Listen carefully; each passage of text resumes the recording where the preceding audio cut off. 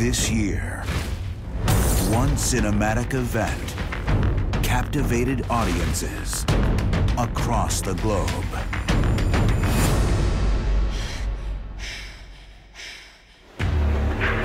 Now, the girl with the dragon tattoo will play with fire.